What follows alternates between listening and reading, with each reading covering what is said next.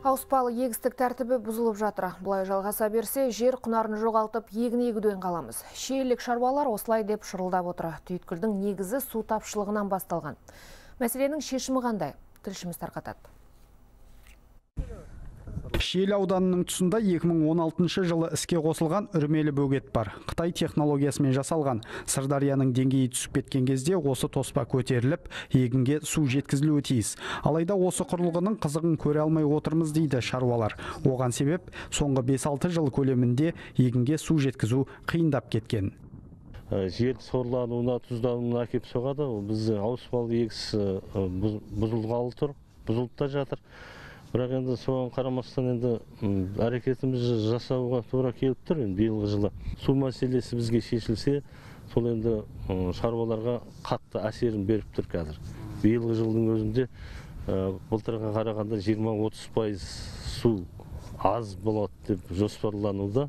Алайда мамандар үрмелі бөгетті үнемі көтеріп қою мүмкін емес екендігін айтады. Сырдарияның деңгейі секундына 300 текше метрге дейін түсіп кеткен жағдайда ғана тіршілік нәрін теңдей үлестіру үшін бұл тоспаны тек 30 сантиметрге дейін көтереді екен. Одан асырсақ төменгі аудандарға тиісті көлемдегі су жетпей қалады. Осылайша олардың да егіні күйіп кетуі мүмкін дейді мамандар.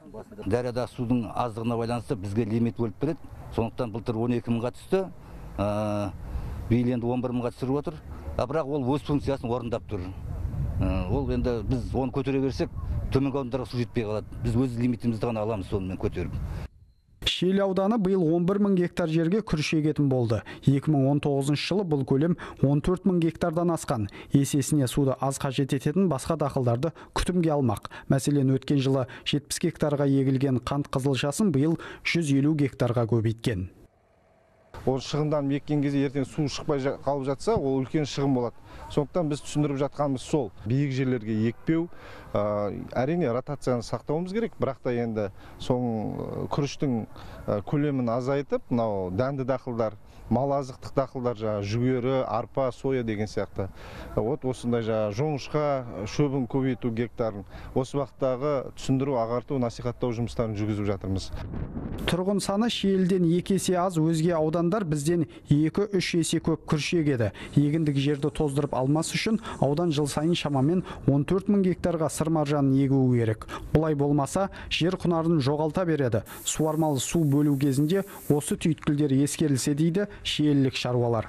Нұрлан жақыпбеков әлхайдар тұрлыханов хабар 24 қызылорда облысы.